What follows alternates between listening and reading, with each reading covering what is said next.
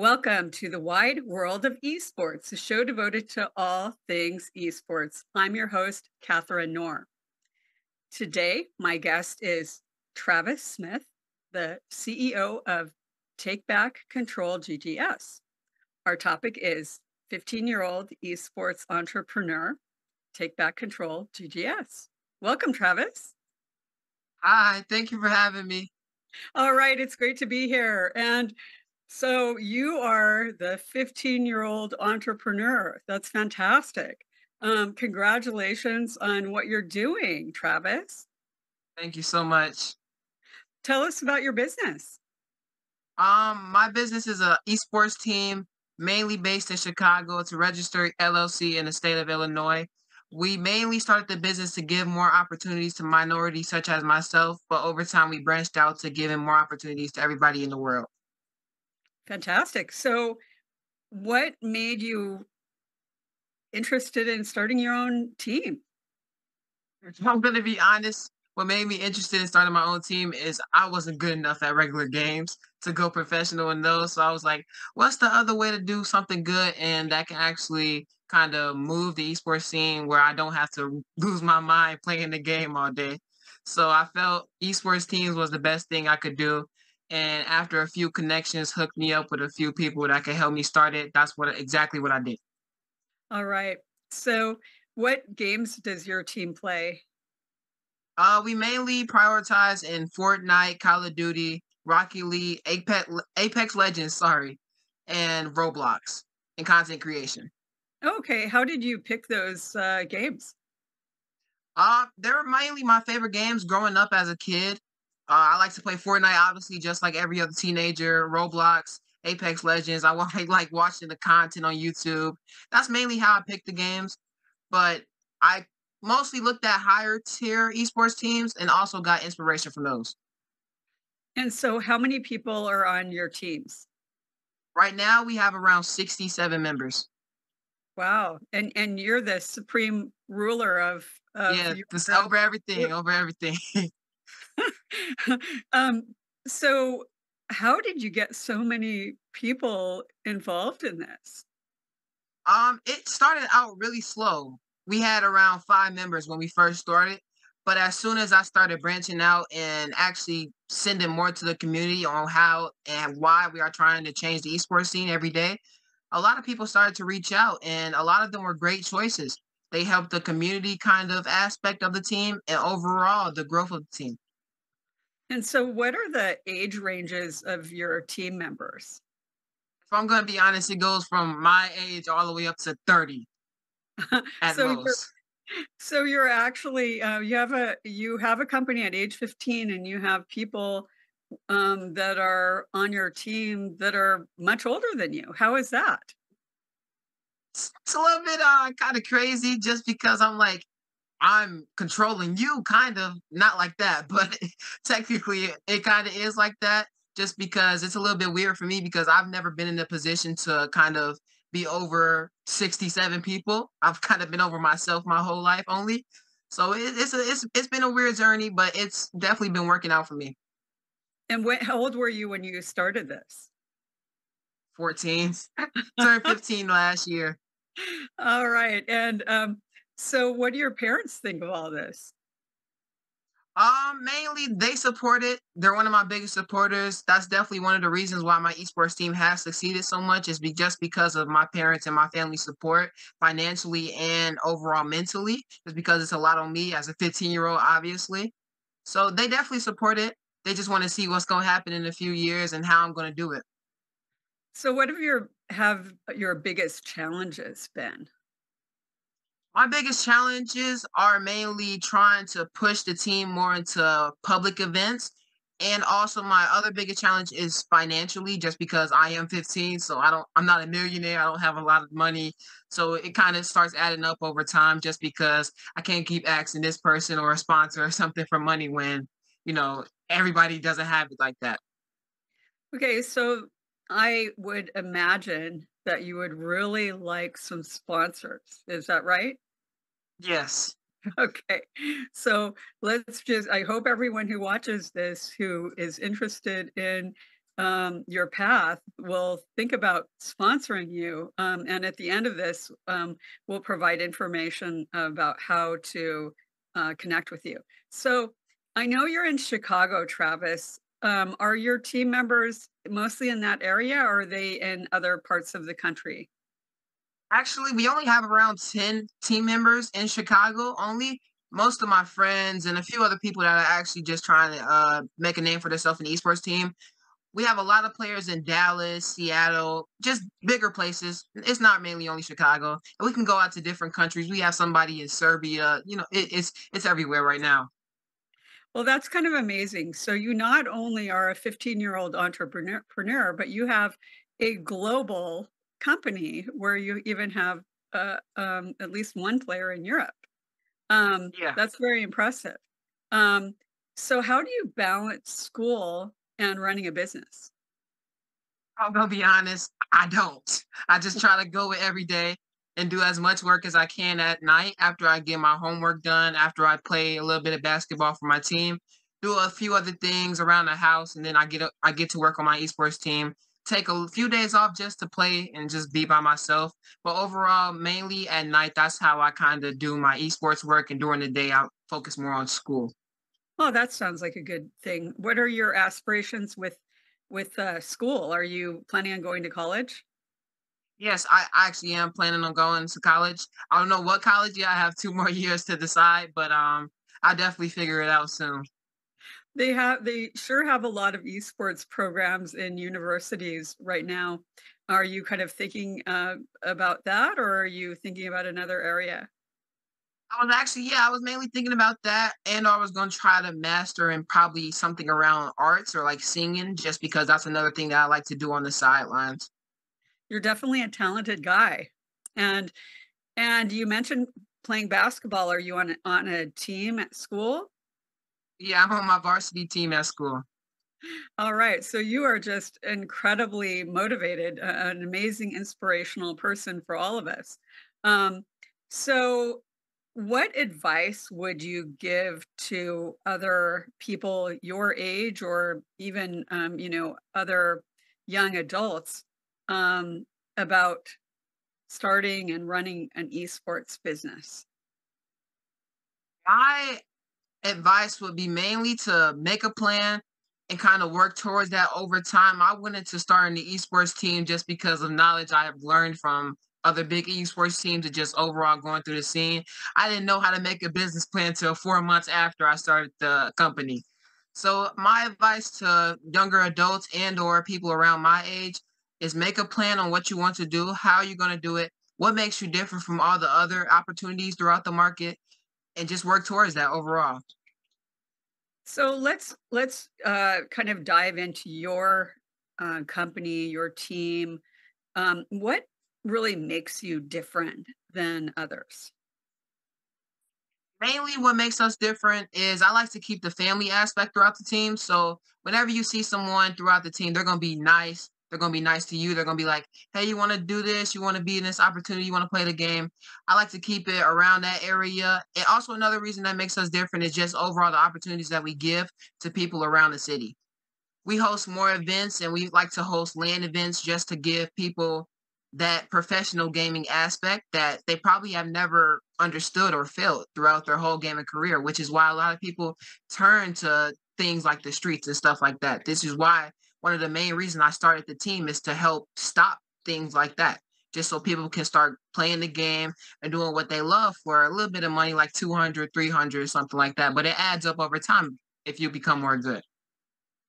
So, you know, you talk about uh, keeping people off the street. Do you think uh, is that uh, one of your fundamental missions to keep youth and um, uh, young adults engaged in something important, um, like playing uh, competitively rather than turning to other, you know, much um, more um, damaging things? Yes, that is one of the fundamentals that we have kind of grew into over time. I know when we first started, it wasn't really doing anything. It was pretty slow business just regarding that certain aspect. But over time, as we started to grow bigger, we started to host more events in Chicago. We plan on hosting another one in Dallas soon. just just overall going around the world just to help younger youth just do something positive with their life instead of kind of throwing it away. That's definitely something that we like to push every single day throughout anything that we do.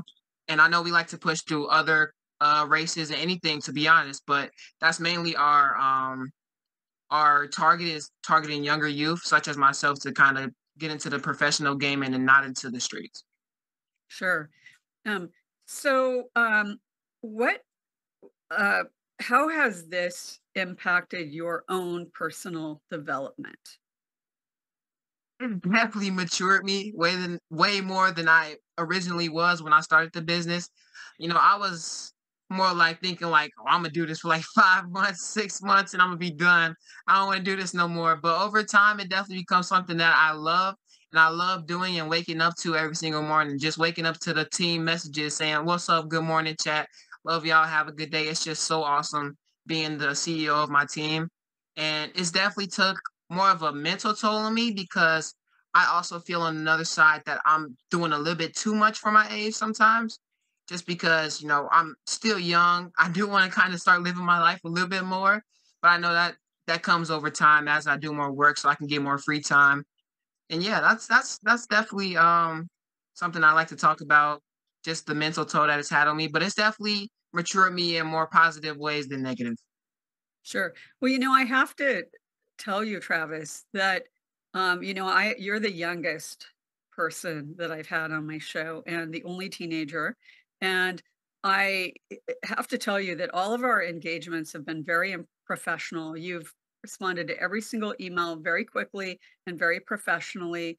And you have such a professional presence on LinkedIn. And every single thing you've done, you showed up on time today, you presented well on camera, everything you do shows professionalism well beyond your age. So um, you certainly are someone that you know are a rising star in business and esports. So i think that's impressive and i'm i definitely hope we'll have lots of viewers to this so that they can be introduced to you. Um, have you so you hear my compliments to you. Do you hear that a lot from people? Honestly i, I actually do. They're like you know, you're doing a lot for your age. Where did you learn this from? Where did you learn all this professional talk? How are you doing this? How are you doing that? Uh, you know, it it's more a lot of doubt that I've heard just because of my age. But mainly when I hear good things, it's like, you know, you're awesome. You're doing a lot for your age. I've never seen this before, just regarding people around your age. And it, it definitely um, motivates me a lot to keep doing what I'm doing because it brings more connections. It brings people to kind of more understand where I'm from and how I'm trying to um, impact the gaming scene in a positive way. So, when you were um, a little kid, um, at what age did you think, oh, maybe I'll, you know, own my own business someday, or maybe I will, you know, have an esports team? If I'm being honest, I never thought that. I, I, always thought I was gonna be going pro in Call of Duty, uh, cranking 90s and Fortnite, you know, just going crazy, going professional in those games. And I guess owning the esports team never came to my mind until maybe three years ago when I tried to do it, but that that failed horribly. and then um in 2022 when I officially made up the name, made up the logo, kind of figured out what I'm going to do to make this team succeed. I kind of put that all into play, and it definitely worked out. I never thought this would happen though. So during um, COVID, like 2020, 2021, and going into 2022, how did that impact um, your um, kind of development towards starting this business and your game playing and your interaction with people? Um, definitely 2020 kind of ruined my interaction. To be honest, I wasn't talking to too many people. I was in the house on online school, Zoom, playing the game during class, stuff like that. Um, going into 2021, I definitely started to open up more to talk to more people. But I've never been the type of guy who kind of goes out and talks to other people, which is why another reason why I say the team has definitely helped me develop in a positive way. Because ever since now. You know, I would stay in the back of the back of the class, back of the corner, just watching everybody else have fun while I'm sitting there trying to think, should I go up to them? And then the class ends up being over or the event ends up being uh, over. Going into 20, oh, sorry, going into 2022, um, definitely I started opening up a lot more, more than 2021 and 2020, but it never got to the point that it has been now. All right. Yeah, I know that for a lot of people and companies, um, especially in esports, um, they it really changed things. And and I know that because traditional sports was shut down, that esports did kind of develop more during that time. And uh, so, you know, interestingly, um, you're kind of one of those businesses that came out of COVID. You know, like it it was post COVID. Um, Yeah. so that's kind of interesting. Yeah, it's pretty cool to me. Um, definitely things didn't start going into really effect until 2022, because I was so young in 2020 and 2021. I was mainly just worried about playing with my Legos and just going to school, trying to do my grades good. Um, but it definitely started to kind of warm up as I got older, and definitely in 2022, I was like, I want to do this, so I'm gonna do it. kind of is basically my mindset. So, what kind of business skills did you have to acquire that that you know were kind of challenging? Networking. is the number one business skill that I had to acquire, especially as I started to go through this. I would go to events and I try to talk to people, but it just would never come out. But as soon as I started to meet more connections, they would be like, I'm gonna I'm gonna connect you with him. I'm I'm gonna connect you with him. So they would like kind of be with me while I'm introducing myself, giving my LinkedIn out, and that definitely helps so much because now I can just go to an event. I see you. I'll say what's up. You know, how are you doing? How's your day going? But before now or before last year, I definitely would never do that. Um, another skill I definitely learned is to keep a strong mental set because being an entrepreneur is not going to be 100% all the time. Your mental state is definitely going to go down, especially if you don't see things going your way. And I know that's a lot of reasons why a lot of entrepreneurs quit. And, and is a big reason why I was going to quit is just because I wasn't seeing any growth in February to maybe like mm, June at most. That's when we hit our first 1,000. From 1,000 to 5,000, that's definitely where I started to become more motivated. I'm like, oh, it's actually happening. So, um, definitely that's that's two big skill sets I've learned and kind of acquired. But I, I don't think about too many other things. That's mainly the two things I'm proud of myself for is just having a strong mental set because I didn't have one growing up. I definitely went through a lot growing up, and also just talking and getting out of my um, comfort zone and networking. All right. So, what are your future goals um, with for the esports industry and personally? Uh, personally, I do want to also, like you said earlier, go to college, um, do some things in there. Maybe around esports, I have to look more into that. Um, keep my grades up. Probably try to do anything around singing. I want to try and do a little bit of art stuff, just as a side gig, I guess. Uh, per, for esports, especially, I like to grow this team into something like I'm sure you know XX, uh, FaZe Clan, big teams like that. I'm still kind of in the process of making my 2024 business plan. So I definitely have updates on that. But um it's definitely a lot of plans that I have. I, I definitely want to grow this team into something where people know what the brand is. You know, that's that's the main thing I want to grow into in this coming year is brand recogni- rec- recognition. Sorry, couldn't get that word out. All right. Fantastic. And so, what are your upcoming projects and ventures for your business?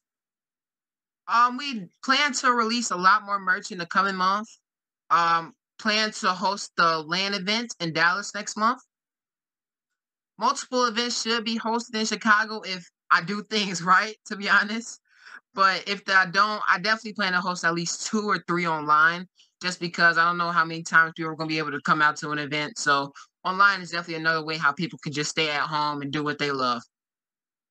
Events, Probably, if I do this right, more giveaways, more merch. Obviously, we plan to drop merch releases every single month, as we just did for our 2024 collection a few days ago. That's really all as of now. As I said, my business plan is kind of still in the works right now. But it definitely will be finished soon, so I can definitely have more updates.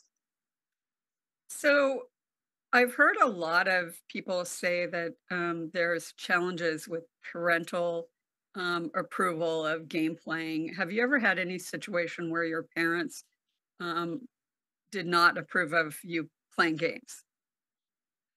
No, actually, my mom, a few times she would be like, get off the game, go take out the garbage, go wash the dishes. But other than that, mainly she was very supportive of my gaming career. Like even now, she still kind of understands if I'm like, Mom, please, can you hold on? I gotta get on this meeting. I gotta do this real quick.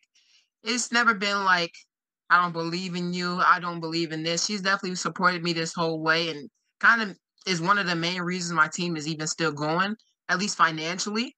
Um, grandmother, she helps me a lot. You know, overall, my family is very supportive of my career choice, and they definitely want to see me succeed in it and they definitely want to see where it can take me in the coming years and how it can give me more opportunities in the real world. Sure, and I think it will.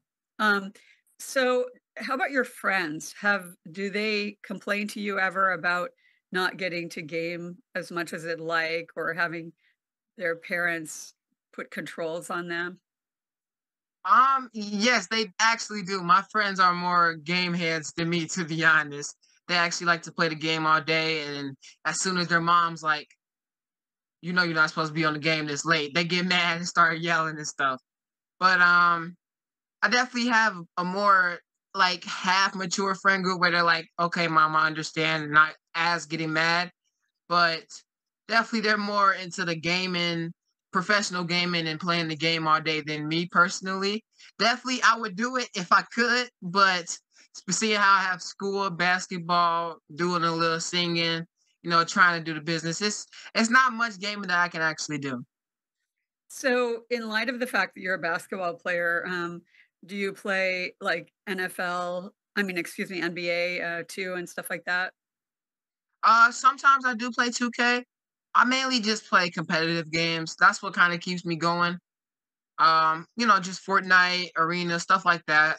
The finals, the new game. Yeah, it's just mainly competitive games. I don't find too much enjoyment in playing sports games just because it's like, why, why can I do this online? I could just go in real life and just go to a court or something like that. So sure. that's mainly the reason why I don't uh, play too much of NBA 2K or like NFL or stuff like that. Yeah. So um, do you, um, looking at the future of traditional sports, because I know that you're a basketball player and you're also an esports uh, player and team owner, do you see that traditional sports have a future um, in light of the fact that so many kids are moving to um, esports? Um, if I'm going to be honest, I'm sorry, I love esports, but traditional sports definitely kind of beats it out in terms of viewership. I know the esports team has been a little bit dry this last two, three years because of we're just getting out of COVID. There wasn't too many events that was able to be hosted. I know it's definitely been starting to light up soon. So I definitely still see a future in traditional sports. I don't think the my grandpa is gonna come to esports just to, um if he could just watch some basketball or the Bulls or something at home. So I don't think esports is gonna kill it too much, but it's definitely gonna be something as a big competitor in the coming years. Do you do your friends do you think your friends feel the same? Are they into traditional sports or do they like games more? They definitely like games more. Uh they you know they, they wouldn't mind watching the Bulls lose, but um you know they're they're definitely more into games and just watching like big tournaments and Fortnite, Call of Duty, stuff like that, instead of watching uh NFL or something like that. Right, right. Um so what skills do you uh, do you think from traditional sports, like as a basketball player, are uh, can be transferable to gaming? If I can think about it for a few seconds, one main skill that I can definitely see being transformed from traditional sports to gaming is the drive. Definitely pushing yourself to keep improving and doing more is definitely something I see in professional gamers and also uh, NBA players like LeBron. You know, he's not stopping. He's pushing himself to keep going. And for like, let's say a tier one player like Faker, he keeps going and he's been playing for so long. A lot of the things that I see in esports can definitely be transformed into sports. And that's the main thing that I see is just the drive of just improving yourself and trying to improve your gameplay every single day. Sure, absolutely. And uh, do you now do you have coaches for your um, team? No, at this moment we do not. We have had coaches for certain rosters, such as our Valorant roster. We had a coach that we had to pay. You know, it depends on really what game we're in. Like for games like Fortnite, we don't really see the purpose, but it's definitely something we can look into because I know that's a big thing that a bunch of esports teams do. But at this moment, we don't have any coaches throughout the team. Okay, so um, we're uh, getting to the end now, and um, how can people find you if they're interested in being a sponsor, in being on a team on your team, or helping you in any way? So on all social medias, it's my name, Travis Smith. Um, double T throughout all social medias, Twitter, Instagram. Also on LinkedIn, you can find me as my name, Travis Smith. You can find the team at twitter.com, take back controls GGs, and or take back control GGS.com. Website should be up soon.